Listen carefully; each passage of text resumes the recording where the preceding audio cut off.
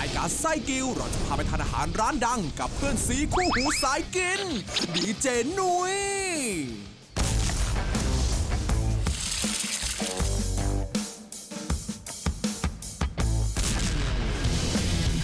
ติดตามได้ในรายการไส้กิว วันนี้เวลา4โมงครึ่งทางช่อง GMM 25